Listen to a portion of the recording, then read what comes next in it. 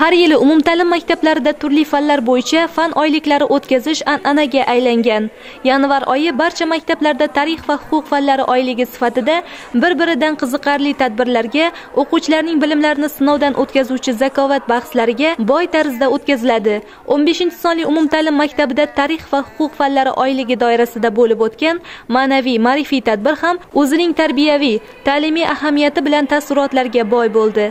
Vatanimiz tarixini o'rganamiz shiori ostida maktabning 10-11 sinflar o'rtasida bo'lib o'tgan bellashuvda o'quvchilar o'zlarining tarix va huquq fanlarini qay darajada o'zlashtirayotganlari qiziqish va iqtidorlarini yaqqol namoyon qilishdi.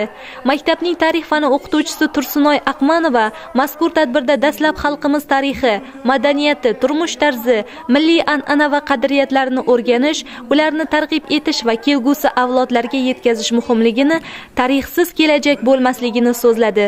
Shuningdek ajdodlarimizning jahon sivilizatsiyasiga qo'shgan hissasi to'g'risida chuqur bilimga ega bo'lish kerakligi ularning ibratli hayoti va faoliyati bilan faxrlanishimiz lozimligini ta'kidladi. Tumanimizdagi 15 sonli maktabimizda tarix huquq fani oyligi munosabati bilan 10-11 sinflar orasida o'zaro bellashuv o'tkazilmoqda. Mana shu bellashuvni maktabimizning tarix fani o'qituvchisi aqmonova tursunoy opa tashkil qilgan. Mana shu e, jarayonni ko'rish bilan bizlar o'quvchilarimizning tarixga bo'lgan e'tiborini kelajakka bo'lgan intilishini bilimlarini ularning iste'dodini namoyish qilishini tomosha qilyapmiz. Maktabimizdagi olib borilayotgan barcha ishlarda prezidentimiz tomonidan berilayotgan o'qituvchilarga e'tibori kuzatilyapti. Bu ishlarda o'qituvchilarga katta kuch g'ayrat tilayman. Shundan so'ng 10 sinf o'quvchilarining himoyachilari va 11 sinf o'quvchilarining mustaqillik me'mori guruhlari o'zaro kuch sinashdilar. Bir biridan qiziqarli 5 ta shart asosida o'tkazilgan mazkur bilimdonlik bahslarida ishtirokchilar dastlabki shartga ko'ra o'z guruhlarining nomlanishini she'riy ta'riflab berdilar. Ketma ketlikda bajarilgan tezkor savollarga aniq va puxta javob berish turli davlatlar va ularning hukmdorlari bo'lmish tarixiy shaxslarni ta'riflash tarix va huquq faniga oid maqollar ibratli iboralar aytish sahna ko'rinishlarini namoyish etishda har ikkala guruh a'zolari ham bir biridan qolishmadilar. Har bir shart bo'yicha qo'yilgan talablarning bajarilishi hakamlar tomonidan odilona baholanib borildi.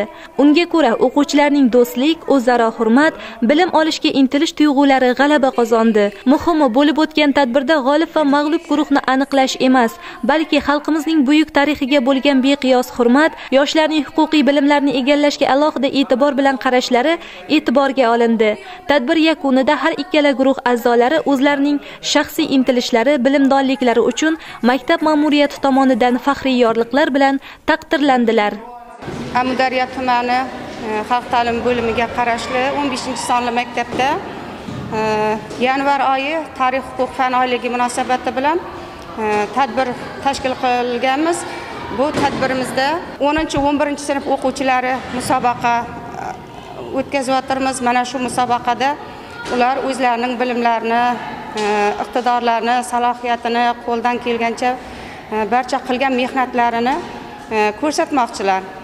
Mana ular fan oyligimizda undan tashqari o'quvchilarimiz ko'rgazmalar ham tashkil qildi fan oyligida. Bunda o'quvchilarimiz juda faol qatnashdi.